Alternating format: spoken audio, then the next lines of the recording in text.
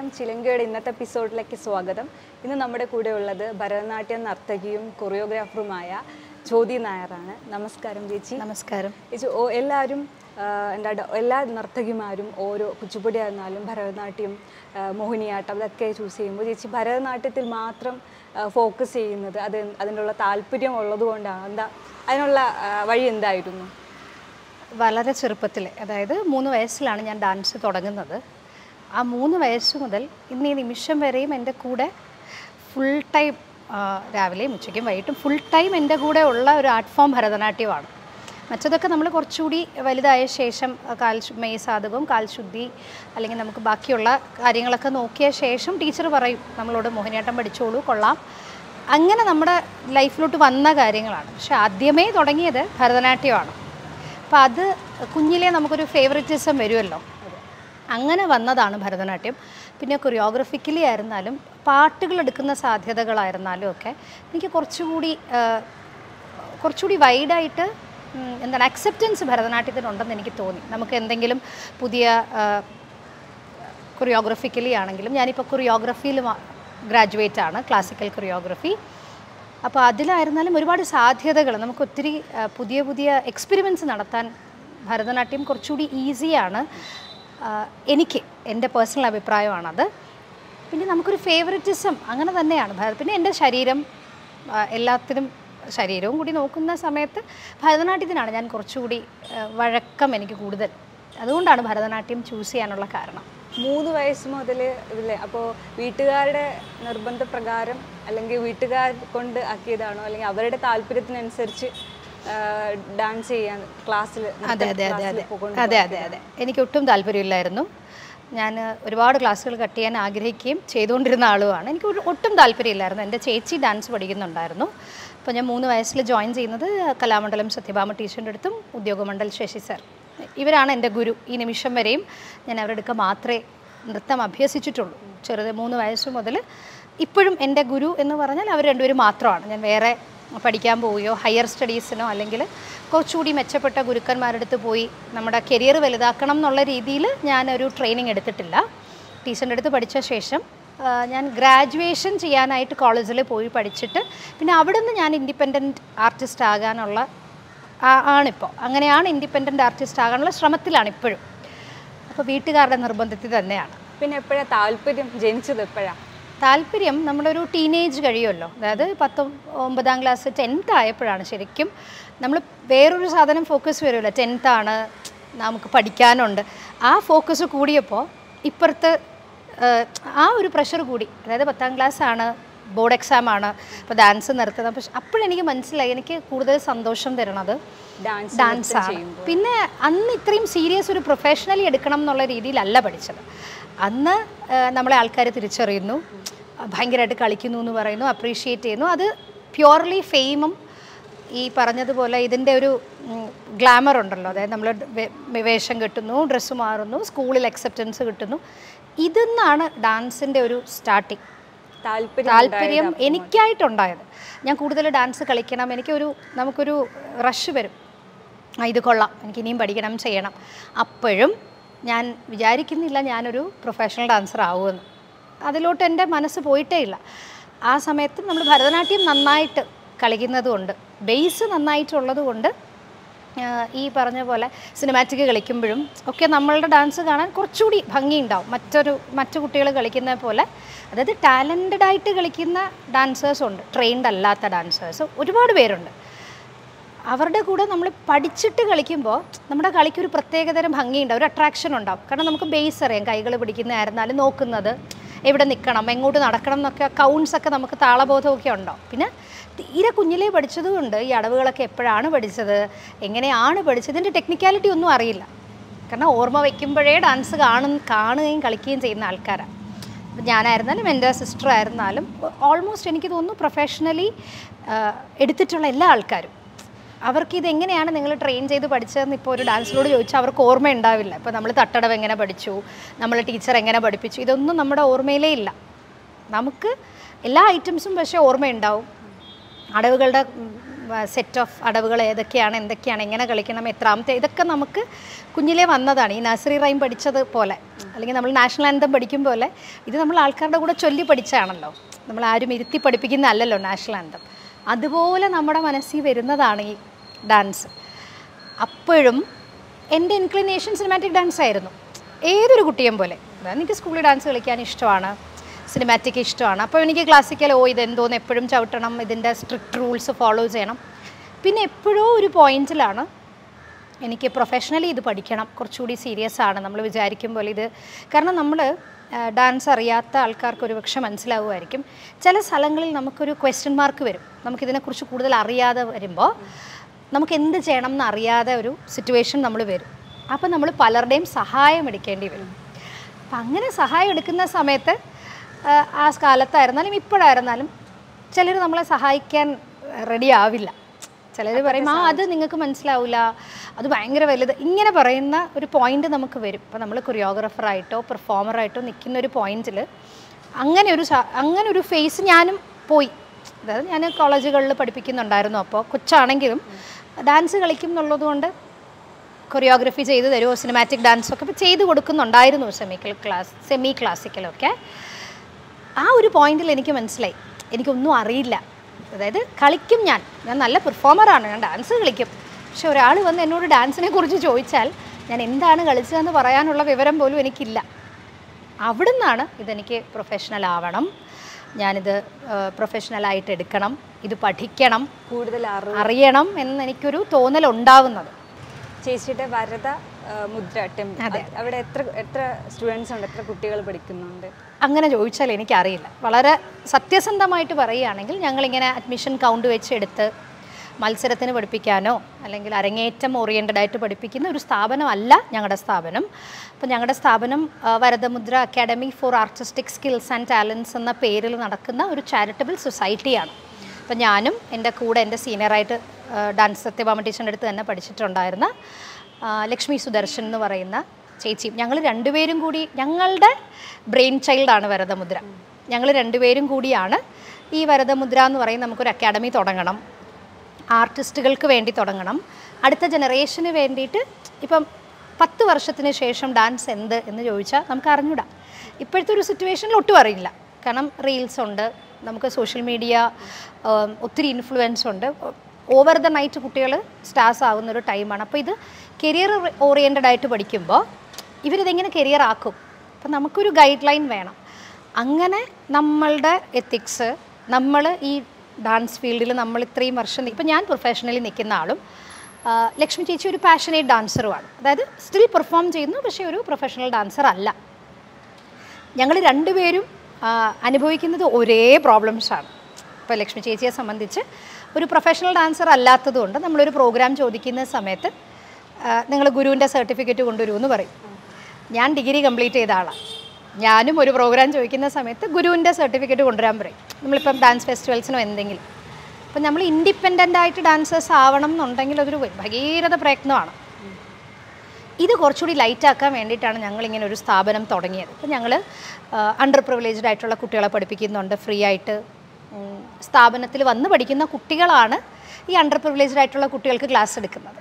അപ്പം ഇവിടെ പഠിക്കുന്ന കുട്ടികളുടെ മനസ്സിൽ അവർ അവർ ഫോർച്ചുനേറ്റ് ആണ്. അവർക്ക് പേരൻസ് പ്രൊവൈഡ് ചെയ്യാനുണ്ട്. പക്ഷേ നമുക്ക് താഴെ ഒരുപാട് ടാലന്റഡ് ആയിട്ടുള്ള കുട്ടികൾക്ക് ആരും പ്രൊവൈഡ് ചെയ്യാനില്ലാത്തത് കൊണ്ടാണ് നമ്മൾ പൊങ്ങി വരുന്നത് എന്നുള്ളൊരു ബോധം ഇട്ടുകൊടുത്താണ് ഇവിടുത്തെ കുഞ്ഞുങ്ങളെ പഠിപ്പിക്കുന്നത്. പിന്നെ അവരും പെർഫോമൻസ് ഓറിയന്റഡ് ആണ് അവർ അവർ പഠി കളിക്കുന്ന കാര്യം എന്താണെന്ന് അവരറിഞ്ഞിരിക്കണം അവരോടൊരാൾ ചോദിച്ചാൽ അത് പറയാനുള്ള ബുദ്ധി അത് പറ അത് എന്നോട് ചോദ്യം ചോദിക്കാനുള്ള സ്വാതന്ത്ര്യം പഠിക്കാനുള്ള ആ ഒരു എല്ലാ സാധ്യതകളും ഞങ്ങൾ കൊടുത്താണ് ഇവിടെ പഠിപ്പിക്കുന്നത്. അപ്പോൾ ഞാൻ ഡാൻസുകാരി ആയിട്ട് എന്താണ് ഞാൻ ഡാൻസിന് തിരിച്ചു കൊടുക്കാൻ പോകുന്നത്? എനിക്കൊരു ബഞ്ച് ഓഫ് ഗുഡ് ആർട്ടിസ്റ്റുകളെ തിരിച്ചു കൊടുക്കണം. അതായത് പരസ്പര വിദ്വേഷം ഇല്ലാത്ത അങ്ങോട്ടും ഇങ്ങോട്ടും സഹായിക്കുന്ന അങ്ങോട്ട് ഞാൻ ഞാനിതാണ് പഠിച്ചത്. ഞാനിത് നന്നായിട്ട് പ്രസന്റ് ചെയ്യാൻ പോവാണ്. ഞാനിത് കാണും കളിക്കുമ്പോൾ എല്ലാവരും കാണാൻ വരണം. എന്തെങ്കിലും ഗുഡ് ക്രിറ്റിസിസം ഉണ്ടെങ്കിൽ ഞാനത് എടുക്ക. ഓപ്പൺനെസ് ഉള്ള കുറച്ച് ആർട്ടിസ്റ്റുകളെ ഉണ്ടാക്കിയെടുക്കുക എന്നുള്ളതാണ് ഞങ്ങളുടെ അക്കാഡമിയുടെ ഒരു എത്തിക്സ് ഞങ്ങൾ അതിനാണ് ഇത് തുടങ്ങിയത്. ചേച്ചി പറഞ്ഞായിരുന്നു ഒരു ടീച്ചർ ഒരു ഒരു- ഗുരുവിന്റെ കീഴിൽ നിന്നാണ് ഇത്രയും നാൾ പഠിച്ചത് അല്ലെങ്കിൽ ഒരു ഗുരുവാണ് തനിക്ക് ഉണ്ടായിരുന്നു അതെ അതെ ചേച്ചി പറഞ്ഞായിരുന്നു. അപ്പോൾ ഇപ്പൊ നിലവിൽ ഒരു കുട്ടി ഒരു സ്ഥലത്ത് പഠിച്ച് കുറച്ച് നാൾ കഴിയുമ്പോൾ വേറെ ഗുരുവിനെ അന്വേഷിച്ച് പോകുന്ന ഒരു പ്രവണത പ്രവണതയാണ് ഇപ്പൊ നടക്കുന്നത്. അപ്പൊ അതിനോട് ചേച്ചി ഒരു ഗുരുവിന്റെ കീഴിൽ തന്നെ പഠിച്ചു എന്ന് പറയുമ്പോൾ അതൊരു പ്രത്യേകതയുള്ള ഒരു കാര്യമാണ്. അപ്പൊ അതിനോട് എന്തെങ്കിലും രണ്ട് വാക്ക് ഒന്ന് ഇപ്പോൾ തിയററ്റിക്കലി ഞാൻ പറഞ്ഞല്ലോ എനിക്കൊന്നും അറിയില്ലായിരുന്നു നമ്മളിവിടെ പഠിക്കുമ്പോൾ കാരണം ഇവിടെ ഫോക്കസ് ചെയ്യുന്നത് കുട്ടി കളിക്കുക എന്നുള്ളതാണ്. കുട്ടിക്ക് എന്തറിയാം എന്തറിഞ്ഞൂടാ. കാരണം നമ്മളെപ്പോഴും പാമ്പേർഡ് ആയിരുന്നു. ചെറുതില്ല ഞങ്ങൾ പഠിക്കുമ്പോൾ ഞങ്ങൾക്ക് ഫോർ ഫ്രണ്ടിൽ നിന്ന് ഫൈറ്റ് ചെയ്യാൻ ഞങ്ങളുടെ ടീച്ചർ ഉണ്ടായിരുന്നു. അതായത് ഞങ്ങൾക്ക് ഒരു ബുദ്ധിമുട്ട് ഇപ്പോൾ ഞങ്ങൾ പ്രോഗ്രാംസിന് പോകുന്നു അല്ലെങ്കിൽ അമ്പല പ്രോഗ്രാമിന് പോകുന്നു. ഞങ്ങളെപ്പോഴും ടീച്ചറിന്റെ കൂടെ സെക്യൂർഡ് ആയിരുന്നു. ഞങ്ങളുടെ ടീച്ചറിന്റെ കുട്ടികളോട് വന്ന് അപമര്യാദയായിട്ട് പെരുമാറോ അല്ലെങ്കിൽ ടീച്ചറിനെ ഒരു ഭയം ഉണ്ടായിരുന്നു അപ്പോൾ ഞങ്ങൾ പ്രൊട്ടക്റ്റഡ് ആയിരുന്നു ഒന്ന്. പിന്നെ ഞങ്ങൾ എവിടെ പോയാലും സത്യഭാമ ടീച്ചറിന്റെ കുട്ടികൾ കളിക്കുന്ന കുട്ടികളാണ്. അപ്പോൾ ആ കളി ഇപ്പോൾ എത്ര നമുക്ക് കഴിവുണ്ടെന്ന് പറഞ്ഞാലും നമ്മൾ കറക്റ്റ് ആളുടെ കയ്യിൽ കിട്ടണം. നമ്മളെ കഴിവുള്ള ഒരാളായിട്ട് വേറൊരാൾ അംഗീകരിക്കുമ്പോൾ പ്രത്യേകിച്ച് ഡാൻസ് അറിഞ്ഞുകൂടാത്ത ലേമൻ ഇപ്പോൾ ഒരു ഡാൻസർ ഒരു ഡാൻസ് കാണുന്ന വിഷൻ വേറെയാണ്. അവർ കൈകളും കാലുകളും പാട്ടും ബീറ്റും ഡ്രസ്സും കോസ്റ്റ്യൂമും ജ്വല്ലറിയും അത് ശരിയായില്ല അത് അങ്ങനെയല്ല. അവരൊരു ജഡ്ജ്മെന്റിലാണ് കാണുന്നത്.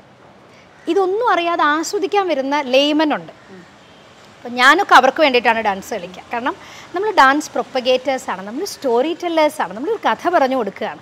അപ്പം ഞാനിത് കണ്ടു കളിക്കുന്ന സമയത്ത് ഒരു മൂന്ന് വയസ്സായ കുട്ടിക്ക് ഇത് ഇഷ്ടപ്പെട്ടിട്ട് ആ കുട്ടി പഠിക്കാൻ വരുന്നിടത്താണ് നമ്മൾ പ്രൊപ്പഗേറ്റർ ആവുന്നത്.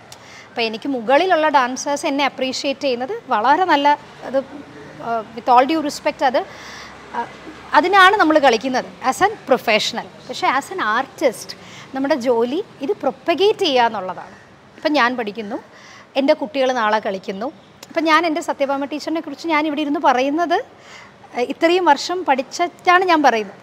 അപ്പം നാളെ എന്റെ കുട്ടികൾ എന്നെക്കുറിച്ച് പറയും. ഞാൻ അന്ന് ജീവനോടെ ഉണ്ടാവോ ഇല്ലയോ എന്ന് എനിക്കറിയില്ല. പക്ഷേ ടീച്ചർ ഞാൻ തന്നെയാണ് അപ്പോഴും. അപ്പോൾ ആ ഗുരു എന്ന് പറയുന്നൊരു ആ ഒരു ആ ബേസ് പറഞ്ഞു തരുന്ന ആൾ എന്നെ സംബന്ധിച്ച് ബേസ് പറഞ്ഞ് നമ്മുടെ കൈയും കാലും ഒക്കെ കറക്റ്റ് ചെയ്ത് കൈ ശരിയാണോ കാൽ ഇതിൽ നിന്ന് നമ്മളെ ഒരു ലെവലിൽ നല്ലതും ചീത്തയും തിരിച്ചറിയാൻ പറഞ്ഞു തരുന്ന ആളുണ്ടല്ലോ. അതാണ് എനിക്ക് ഗുരു. അവിടുന്ന് പിന്നെ നമ്മുടെ ചോയ്സാണ് എനിക്ക് കുറച്ചുകൂടി നല്ല ഒരാളെടുത്ത് പഠിക്കാൻ പോകണം എനിക്കിത് പേഴ്സ്യൂ ചെയ്യണം. എനിക്കത് പഠിക്കാൻ പോകണം ഞാനത് പഠിക്കുന്നു. പക്ഷേ പൊതുവിൽ കണ്ടുവരുന്നതെന്ന് വെച്ചാൽ നമ്മൾ ഒരിടത്ത് നിർത്തിയിട്ട് നമ്മൾ വേറൊരു സ്ഥലത്ത് പോകുമ്പോൾ ഈ വന്ന പപ്പാടെ നമ്മൾ മറക്കും. പിന്നെ ആ ടീച്ചറിനെ കുറിച്ച് പറയും ചെറിയ ചെറിയ കാര്യങ്ങളിലൊക്കെ കൊണ്ടായിരിക്കും ചിലടത്ത് പിണങ്ങി പോകുന്നതും അല്ലെങ്കിൽ വേണ്ടാന്ന് വെച്ചിട്ട് മാറിപ്പോവുക. ചെറിയ കാര്യങ്ങളായിരിക്കും മൈന്യൂട്ട് കാര്യങ്ങളായിരിക്കാം. അവർക്കത് വലുതായിരിക്കാം. നമുക്ക് തോന്നും അയ്യോ ഈ ചെറിയ കാര്യത്തിനൊക്കെ എന്തിനാ പിണങ്ങിയിട്ട് പോയെന്ന് പക്ഷേ ഈ അനുഭവിക്കുന്നവർക്കല്ലേ അതറിയുള്ളൂ ചിലർ അങ്ങനെയൊക്കെ കള പോയി കഴിഞ്ഞ് കഴിഞ്ഞാൽ പിന്നെ അവർക്കൊരു ടീച്ചറിന്റെ അടുത്ത് ചേർന്ന് കഴിഞ്ഞാൽ അവരുടെ കൂടെ നിന്നാലേ ഇവർക്കൊരു കരിയർ ഹൈ പൊള്ളു മനസ്സിലായി? അപ്പോൾ ഒരു വലിയ പേരും പ്രശസ്തിയുള്ള ഒരു ടീച്ചറിന്റെ അടുത്ത് പോയി പഠിക്കുന്ന കുട്ടിക്ക് മാത്രമാണ് ഒരു ഡിസൈപ്പിൾ വെച്ചൊരു പ്രോഗ്രാം കിട്ടുള്ളൂ. ഇപ്പം ഞാൻ പോയിട്ട് ചോദ്യ Nair B A choreography under the guidance of Guru Shrimati Maya Rao എന്ന് വെച്ചാൽ മാത്രമേ എനിക്കൊരു സ്റ്റേജ് ഉള്ളൂ. അല്ലെങ്കിൽ എന്റെ ഈ ഗ്രാജുവേഷന് പോലും ഒരു യൂണിവേഴ്സിറ്റി ഗ്രാജുവേഷൻ ഒരു വിലയില്ല. അപ്പോൾ ഈ ഗുരുവിന്റെ പേര് ഭയങ്കര ഇമ്പോർട്ടന്റ് ആണ്. നമ്മൾ ഈ ഒരു ഫീൽഡിൽ നിൽക്കുമ്പോൾ അപ്പോൾ അങ്ങനെ ഇൻഡിപെൻഡന്റ് ആയിട്ട് ഇറങ്ങാനുള്ളൊരു റിസ്ക് എടുക്കാനും കുട്ടികൾക്ക് പറ്റില്ല. നമ്മൾ എത്ര ഗ്രാജുവേഷൻ കഴിഞ്ഞു? നമ്മൾ എത്ര പെർഫോമൻസ് ചെയ്തിട്ടുണ്ടെന്ന് പറഞ്ഞാലും നമുക്ക് പേടിയാണ്. അപ്പം ഞാൻ എന്റെ കുട്ടിക്ക് വേണ്ടിയിട്ട് ഒരു ഫോം ഫില്ല് ചെയ്ത് ഞാനൊരു ഡാൻസ് ആപ്ലിക്കേഷന് കൊടുത്താൽ റിജക്റ്റ് ആവുമോ? ഞാൻ റിജക്റ്റ് ആവും. കാരണം എന്റെ ഞാനൊരു ടീച്ചറിന്റെ കീഴിൽ പഠിക്കുന്നില്ല. അപ്പം എനിക്ക് റിജക്ഷൻ ഫേസ് ചെയ്യാൻ പറ്റില്ല. അപ്പം ഞാനൊരു പേര് കേട്ടൊരു ടീച്ചറിന്റെ അടുത്ത് പഠിക്കുകയാണെങ്കിൽ നമ്മൾ അവരുടെ കൂടെ തന്നെ എന്നും നിന്നുകൊണ്ടിരുന്ന് കഴിഞ്ഞാൽ നമുക്ക് വേദികൾ ഒരുപാട് കിട്ടും. പക്ഷേ ഈ ടീച്ചേഴ്സിന്റെ കൂടെ നിൽക്കുമ്പോൾ നമുക്ക് കിട്ടുന്ന പഠിത്തവും ഡിഫറെന്റ് ആണ്. കാരണം അവരുടെ എക്സ്പീരിയൻസസ് അവർ ഒരുപാട് സ്റ്റേജ് എക്സ്പീരിയൻസ് ഉണ്ടാവും. അവർ ഔട്ട്സൈഡ് വേൾഡ് കണ്ടിട്ടുള്ളവരായിരിക്കും. അപ്പോൾ അവരുടെ കൂടെ നമ്മൾ വർക്ക് ചെയ്യുമ്പോൾ കിട്ടുന്ന എക്സ്പീരിയൻസ് വേറെയാണ്. പഠിക്കുമ്പോൾ കിട്ടുന്ന എക്സ്പീരിയൻസ് വേറെയാണ്. പിന്നെ ടീച്ചേഴ്സ് തമ്മിലൊരു റൈവലറി ഉണ്ടല്ലോ എല്ലായിടത്തും. ഡാൻസിൽ മാത്രമല്ല എല്ലാ സ്ഥലത്തും ഉണ്ട്. സ്കൂളുകൾ തമ്മിലുള്ള കോമ്പറ്റീഷൻ പോലെ അധ്യാപകർ തമ്മിൽ അങ്ങോട്ടും ഇങ്ങോട്ടും ഉണ്ട്. അപ്പം നമ്മൾ അങ്ങോട്ട് പോകുമ്പോൾ മാറ്റി നിർത്തപ്പെടുക പാർഷ്യാലിറ്റി കാണിക്കുക. ഇതൊന്നും ഈ ഒരു പൊളിറ്റിക്സിലോട്ട് പോകാൻ എനിക്ക് താല്പര്യമില്ലായിരുന്നു. ഇതൊരു വലിയ പൊളിറ്റിക്കൽ വേൾഡാണ് എല്ലാ ഫീൽഡിലും ഉള്ളതുപോലെ ആ ഒരു പൊളിറ്റിക്സിനോട് എനിക്ക് വലിയ താല്പര്യം ഇല്ലാത്തത് കൊണ്ടാണ് ഗ്രാജുവേറ്റ് ആണ്. അപ്പം ഞാൻ പോയി എന്റെ ഒരു എനിക്കൊരു ഓപ്പർച്യൂണിറ്റി ചോദിക്കുമ്പോൾ എന്റെ കയ്യിൽ സ്ട്രോങ് ആയിട്ടൊരു ഗ്രാജുവേഷൻ ഉണ്ട് സർട്ടിഫിക്കറ്റ് ഉണ്ട്. എന്തുകൊണ്ട് എനിക്ക് തന്നില്ല എന്ന് ചോദിക്കാൻ എനിക്കൊരിതുണ്ട്. പിന്നെ ഗുരുവായിരുന്നാൽ ഇപ്പോൾ നമ്മളൊരു ഓഫീസിൽ ജോലി ചെയ്യാണ്. നമ്മളൊരു പത്ത് സ്ഥലം മാറി ജോലി ചെയ്യുമ്പോൾ നമ്മുടെ റെസ്യൂമേൽ അത് വരും. അതെന്താ ഇവിടെ രണ്ട് വർഷം നിന്ന് അതെന്താ അവിടെ മൂന്ന് വർഷം അതെന്താ ഒരു സ്ഥലത്ത് ഉറപ്പിച്ച് നിൽക്കാത്തതെന്നുള്ളൊരു തോട്ട് വരും. ഇതേ തോട്ട് ഇതേ കണ്ണോടുകൂടി ഒരു ഡാൻസറേയും കാണും. അപ്പം ഞാൻ അഞ്ച് വർഷം ഇവിടെ പഠിച്ചു എനിക്ക് അവിടെ ശരിയായില്ല പിന്നെ ഞാൻ മൂന്ന് വർഷം അവിടെ പഠിച്ചു.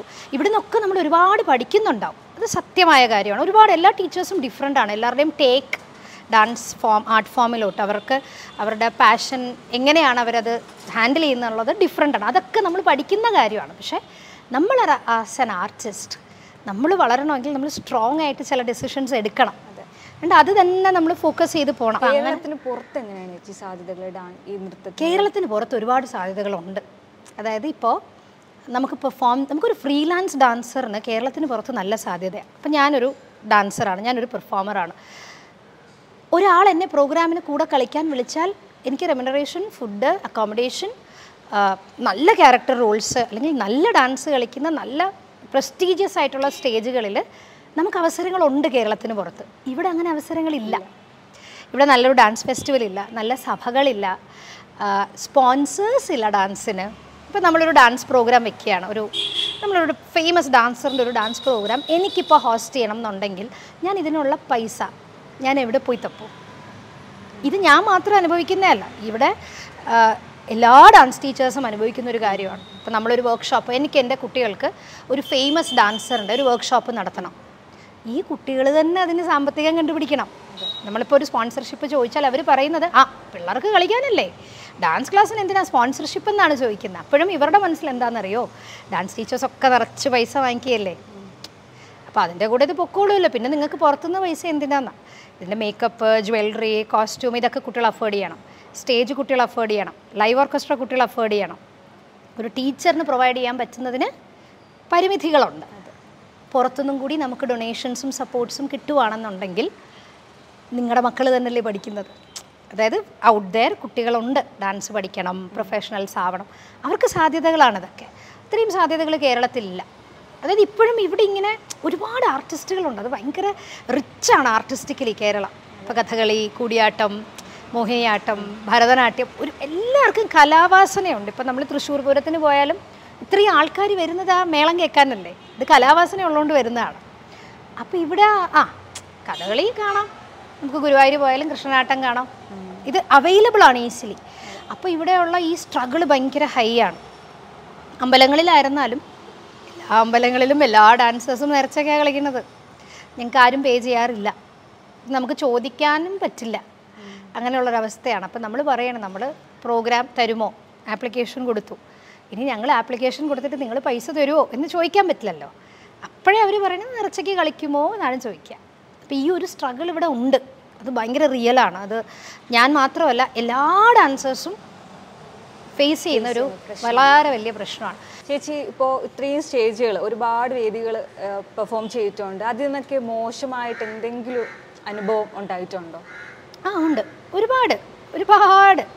റെഗുലർ ബേസിൽ മോശം അനുഭവം ഉണ്ട്. മോശം എന്ന് പറഞ്ഞാൽ നമ്മളെ ചീത്ത വിളിക്കുന്നതോ അല്ലെങ്കിൽ നമ്മളോട് അപമര്യാദയായിട്ട് പെരുമാറുന്നതോ അല്ല. പ്രത്യേകിച്ച് സ്ത്രീകളായുണ്ട്. അത് മാത്രമല്ല മോശം. ഒരു പ്രോഗ്രാം നമ്മൾ അവതരിപ്പിക്കാൻ പോകുമ്പോൾ ഒരു ഡാൻസറിന് അല്ലെങ്കിൽ ഒരു ആർട്ടിസ്റ്റിന് വേണ്ട മിനിമം റിക്വയർമെന്റ് എന്ന് പറഞ്ഞാൽ വൃത്തിയുള്ളൊരു സ്റ്റേജാണ് അതെ. സ്റ്റേജ് തൂത്തുപോലും അടിച്ചു വാരിയിടാത്ത സ്ഥലങ്ങളിൽ പോയി ഞങ്ങൾ ചെയ്ത് കളിക്കേണ്ടി വന്നിട്ടുണ്ട്. കർട്ടൻ ഉണ്ടാവില്ല. കുടിക്കാൻ വെള്ളം വെച്ചിട്ടുണ്ടാവില്ല. ഇരിക്കാൻ കസേരകൾ ഉണ്ടാവാറില്ല. വലിയ അമ്പലങ്ങളിലൊക്കെ അങ്ങനെ സംഭവിച്ചിട്ട് സംസാരിക്കേണ്ടി വന്നിട്ടുണ്ട്. അതായത് ഈ മുതിർന്നവർ കാണാൻ വരും. വയസ്സായ ആൾക്കാർ കൊച്ചുമക്കളൊക്കെ കളിക്കുമ്പോൾ അപ്പോൾ ഒരു മണിക്കൂർ പ്രോഗ്രാം അവർ നിൽക്കണം. അപ്പം നമ്മൾ ചോദിക്കണം. കമ്മിറ്റി ഓഫീസിൽ ചെന്നോ അല്ലെങ്കിൽ ഇതിന്റെ പ്രോഗ്രാം നടത്തുന്നതോട് നമ്മൾ പറയണം കസേര ഇടുവോ സ്റ്റേജ് കെട്ടിത്തരുമോ സ്റ്റേജിൽ കർട്ടൺ ഉണ്ടോ ലൈറ്റ് ഒന്ന് നേരെ വെച്ച് തരുമോ ഇതൊന്നുമില്ല. അവർ നമുക്ക് ഈ ദാനം പോലെ പ്രൊവൈഡ് ചെയ്യും പോലെയാണ്. നിങ്ങൾ ചോദിച്ചു ഞങ്ങൾ തന്നു. വേണമെങ്കിൽ കളിച്ചു അങ്ങനെയാണ്. പിന്നെ സമയം. പാലിക്കലേ ഇല്ല. നമുക്കൊരു ആറര സമയം തരും. നമ്മൾ ആറരയ്ക്ക് ആറര സമയം തരുമ്പോൾ പാലിക്കണം എന്ന് പറയുന്നത് വേറൊന്നും കൊണ്ടല്ല. ഈ കുഞ്ഞുങ്ങളെയും കൊണ്ട് നമ്മൾ പോകുമ്പോൾ പന്ത്രണ്ട് മണിക്ക് അവർ മേക്കപ്പ് തുടങ്ങും. പന്ത്രണ്ട് മണിക്ക് തുടങ്ങുന്ന കുട്ടികളെ നമ്മൾ വണ്ടിയിലൊക്കെ കയറ്റിയിരുത്തി അപ്പോൾ അവരെ പന്ത്രണ്ട് മണിക്കായിരിക്കും ഭക്ഷണം കഴിക്കുക. ഇടയ്ക്ക് സ്നാക്സോ എന്തെങ്കിലുമൊക്കെ ആയിരിക്കും കൊച്ചു പിള്ളേരോ വലിയ ആൾക്കാരോ. എല്ലാവർക്കും ക്ഷീണം ഒരുപോലെയാണല്ലോ.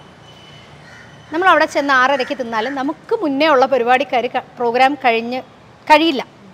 അപ്പോൾ ആറരയാവും ഏഴരയാവും. ഏഴരയാവുമ്പോൾ ഇവരിറങ്ങും നമ്മൾ ഏഴരയ്ക്ക് അങ്ങോട്ട് കയറി ഏഴേ മുക്കാലാവുമ്പോൾ അമ്പലത്തിന്റെ പൂജകളോ ശിവേലിയോ ശ്രീഭൂതബലിയോ എന്തെങ്കിലും വന്ന് നിർത്താൻ പറയും.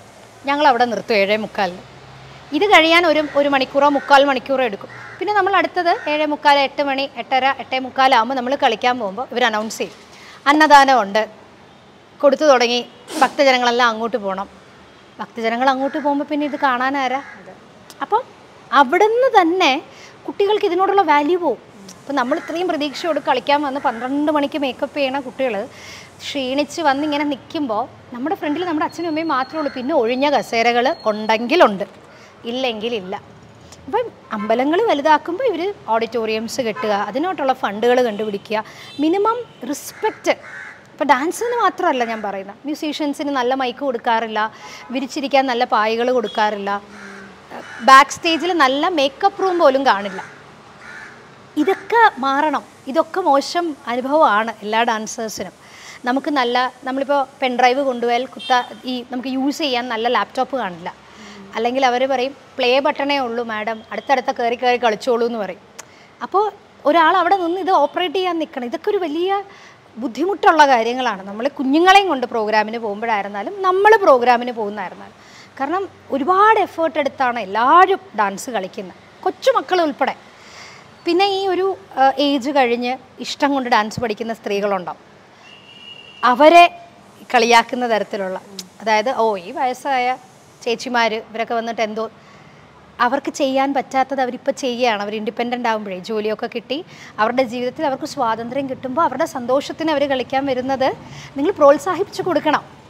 കാരണം അങ്ങനെ ഞങ്ങളിപ്പോൾ ഞാൻ ഇപ്പോൾ എന്റെ പ്രായത്തിൽ ഡാൻസൊക്കെ ഇഷ്ടപ്പെട്ടിട്ട് കളിക്കാൻ പറ്റാത്ത പഠിക്കാൻ പറ്റാത്ത സ്ത്രീകൾ നല്ല കഴിവുള്ളവർ വീട്ടിലിരിക്കുന്നത് കൊണ്ടാണ് എനിക്കിപ്പോൾ ഇവിടെ ഇരിക്കാൻ പറ്റുന്നത്. കാരണം എന്റെ അമ്മ പ്രോത്സാഹിപ്പിച്ചു എന്റെ ഫാമിലി പ്രോത്സാഹിപ്പിച്ചു എന്റെ ഹസ്ബൻഡ് ആയിക്കോട്ടെ എല്ലാവരും പ്രോത്സാഹിപ്പിച്ചു എനിക്കിവിടെ നിൽക്കാൻ പറ്റുന്നു.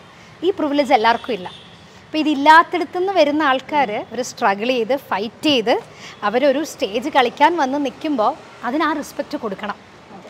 ഇതൊക്കെ അപമര്യാദയായിട്ട് നമ്മളോട് പെരുമാറിയതേ ഞാൻ പറയുള്ളൂ. പിന്നെ ബാക്കി പേഴ്സണലി നമ്മൾ അനുഭവിക്കുന്ന ബാക്കിയുള്ള ബുദ്ധിമുട്ടുകൾ അത് നമ്മൾ തന്നെ ഹാൻഡിൽ ചെയ്യുക അത് ഔട്ട് ഡയർ നമ്മൾ സംസാരിക്കേണ്ട കാര്യമില്ല. നമ്മൾ കറക്റ്റായിട്ട് നമ്മൾ തന്നെ ഹാൻഡിൽ ചെയ്ത് നമ്മൾ പ്രൊഫഷണലി ആവുന്നത് അപ്പോഴാണ്.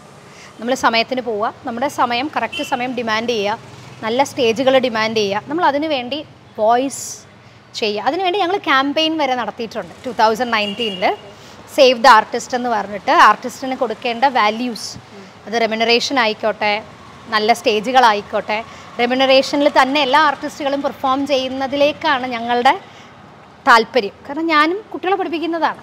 എന്റെ കുഞ്ഞുങ്ങൾ നാളെ സ്റ്റേജിൽ പോകും അവർ വലുതായി അവർ സ്റ്റേജ് ആർട്ടിസ്റ്റ് ആകുമ്പോൾ അവർ ഈ വർഷങ്ങളായിട്ട് ഞങ്ങൾ അനുഭവിച്ചത് ഞങ്ങളെ ടീച്ചർ അനുഭവിച്ചതൊക്കെ അവരനുഭവിക്കാൻ പാടില്ല. കുറച്ചുകൂടി ലാർജർ പേഴ്സ്പെക്റ്റീവിൽ കുറച്ചുകൂടി നല്ല എന്താണ് ആർട്ടിസ്റ്റിക് ഫ്രണ്ട്ലി ആയിട്ട് മാറണം.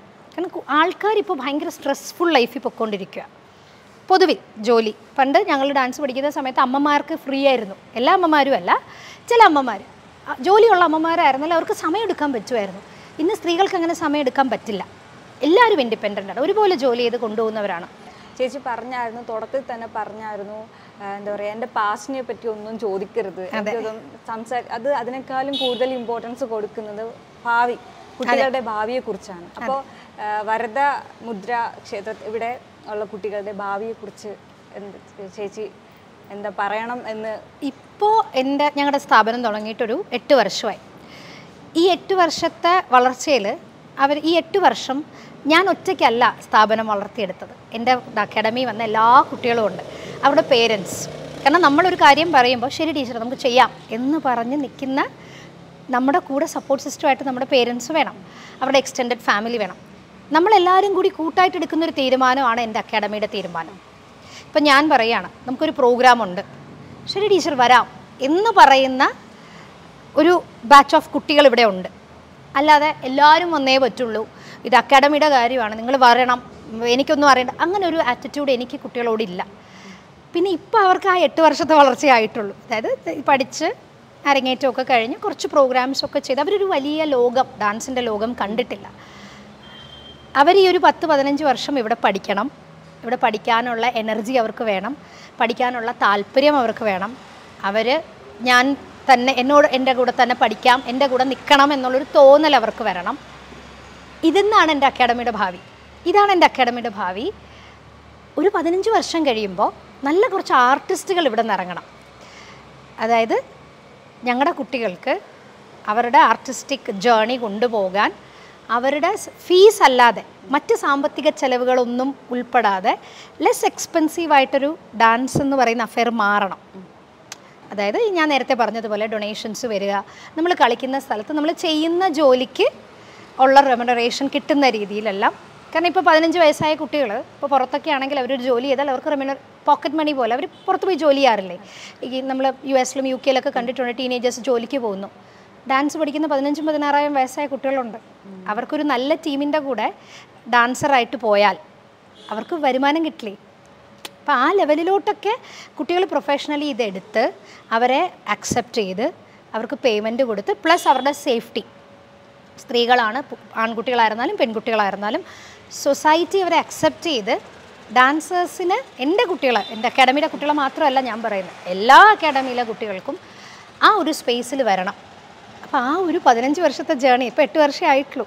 എന്റെ കുട്ടികൾ വളർന്ന് അവർ ബുദ്ധിയും ബോധമുള്ള കുട്ടികളായി മാറി അവർ ഇങ്ങനെ തന്നെ ഡാൻസിനെ കണ്ട് മുന്നോട്ട് പോകണം എന്നുള്ളതാണ്. ഒരു ബിസിനസ് എന്നുള്ളതിനപ്പുറത്തേക്ക്. ഡാൻസ് ഒരു ബിസിനസ്സാണ് ബിസിനസ്സല്ല അവർക്കിത് ആർട്ടായിരിക്കണം അവർക്കിത് വേറൊരാളെ പ്രൊപ്പഗേറ്റേഴ്സ് ആയിരിക്കണം. അതിന്റെ ജോയ് ഉണ്ടല്ലോ. ഈ ഡാൻസ് കളിച്ച് കളിക്കുമ്പോൾ ഉള്ള സന്തോഷം നമ്മളുടെ ജീവിതത്തിൽ ഡാൻസ് കൊണ്ടുവരുന്ന മാറ്റങ്ങൾ as a human being as a person ഒരു സോഷ്യൽ ആനിമൽ എന്നുള്ള രീതിയിൽ ആ ഒരു രീതിയിൽ എന്റെ കുട്ടികൾ പഠിച്ചു വരണം. കാരണം അവരങ്ങനെ എന്റെ പത്ത് പിള്ളേരായിരിക്കാം. ഈ പത്ത് പേര് വിചാരിച്ചാൽ പത്ത് ഗ്രൂപ്പ് മാറും. അതാണ് ഞങ്ങളുടെ വിഷൻ. അതായത് അതിനപ്പുറത്തേക്ക് ലോങ്കർ വിഷനാണ് അത് ഇന്ന് ചെയ്തു തുടങ്ങി നാളെ ചെയ്യുന്നതല്ല ഇപ്പോൾ എട്ട് വർഷമായിട്ടും നമ്മൾ പതുക്കെ പതുക്കെ ബേബി സ്റ്റെപ്സ് വെച്ച് ഓരോ കാര്യങ്ങൾ നമ്മൾ ഫിഗർ ഔട്ട് ചെയ്യുന്നതേ ഉള്ളൂ. സൊസൈറ്റി മാറിക്കൊണ്ടിരിക്കുക ഇപ്പോൾ ഓൺലൈൻ ക്ലാസ്സുകൾ തന്നെ പറയാം. ഞങ്ങൾ എട്ട് വർഷമായിട്ട് ഓൺലൈൻ ക്ലാസ് എടുക്കുന്ന ആൾക്കാരാണ്. ഞങ്ങൾക്ക് കൊറോണ വന്നപ്പോൾ ഓൺലൈന്റെ ഒരു ബൂം വന്നു. ഞങ്ങൾ അതിന് മുമ്പേ എടുക്കുന്ന ആൾക്കാരാണ്. ഇപ്പോൾ ഓൺലൈൻ ക്ലാസ് ഡിഫറെന്റ് ആണ്. അപ്പോൾ അതിന് ഞങ്ങളൊരു സിലബസ് ഉണ്ടാക്കണം. അതിനൊരു വേ ഓഫ് മേക്കിംഗ് ഉണ്ട്. ചുമ്മാ അങ്ങനെ ചെയ്യാൻ പറ്റുന്നതല്ല online class live class different ആണ്. ഇവർ രണ്ടുപേരും ഒരുമിച്ച് വരുന്ന പ്രോഗ്രാംസ് വരുമ്പോൾ ഇവർ രണ്ടുപേരും ഒരുപോലെ ഇരിക്കണം എന്നുള്ളത് ടീച്ചറിന്റെ ഉത്തരവാദിത്തമല്ലേ? അപ്പോൾ ഇങ്ങനെയുള്ള ഒരു ലാർജർ സ്പെക്ട്രമാണ് ഞങ്ങളുടെ വിഷൻ അല്ലാതെ ഒരാൾ നയിച്ചു കൊണ്ടുപോകുന്ന ഒരു ഗുരു എന്റെ കീഴിൽ ഞാൻ പറയും പോലെ ഞാൻ പറയുന്നു ചില കാര്യങ്ങൾ അത് ലോജിക്കലി നിങ്ങൾക്ക് എക്സ്പ്ലനേഷൻ കിട്ടുന്നു എന്നുണ്ടെങ്കിൽ എന്റെ കൂടെ നിൽക്കാൻ തയ്യാറാണെങ്കിൽ ഞങ്ങൾ ഒരുമിച്ച് വർക്ക് ചെയ്ത് മുന്നോട്ട് കൊണ്ടുപോയി അടുത്ത ജനറേഷൻ കുട്ടികൾക്കും അടുത്ത ആൾക്കാർക്കും ഒരുപാട് സാധ്യതകൾ ക്രിയേറ്റീവ് സ്പേസിൽ കൊണ്ടുവരിക എന്നുള്ള ഡാൻസിൽ മാത്രമല്ല നാടകം എല്ലാത്തിനും കൊണ്ട് എത്തിക്കുക എന്നുള്ള അപ്പോൾ ഒരു സൈഡിൽ നിന്ന് നമ്മൾ തുടങ്ങി കൊടുത്താലേ പറ്റുള്ളൂ. അതുതന്നെയാണ് തന്നെയാണ് വിഷൻ വേറെ അങ്ങനെ വലിയ സ്വപ്നങ്ങളൊന്നുമില്ല. ചെറിയ ചെറിയ ആഗ്രഹമൊക്കെ സബലീകരിക്കട്ടെ. താങ്ക് യു സോ മച്ച് ഇത്രയും നേരം നമ്മുടെ കൂടെ സംസാരിച്ച് ഒരുപാട് കാര്യങ്ങൾ പങ്കുവച്ചതിന് വളരെ നന്ദിയുണ്ട് thank you thank you so much thank you